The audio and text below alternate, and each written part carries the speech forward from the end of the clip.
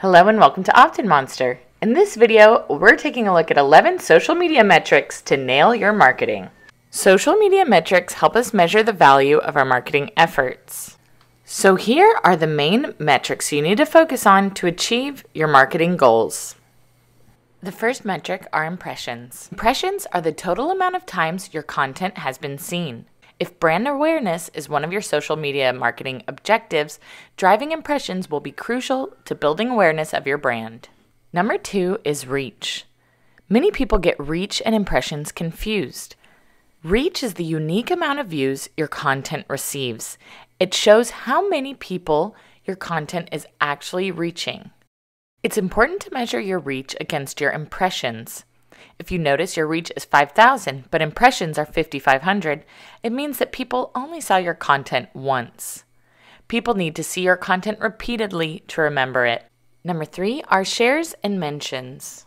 This is a crucial measure of engagement, which shows how many people are actually being social with you on social media.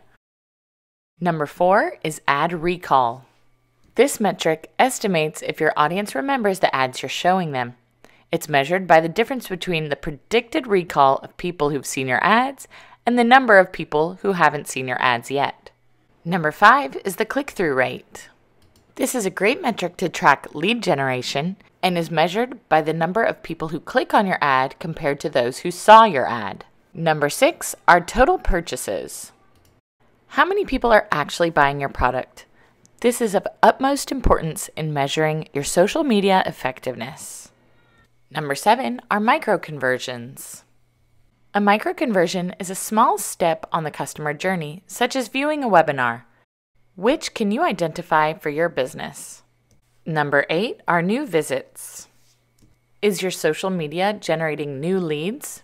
This metric will let you know. Number nine are total leads. By installing a pixel on your website, you can determine how many total leads your social media campaigns are driving for your business. Number 10 is referral traffic.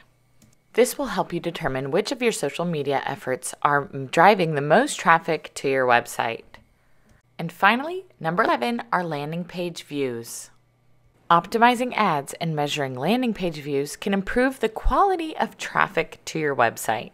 Before you go, don't forget to download our free gift to you 12 proven ways to convert abandoning visitors into subscribers.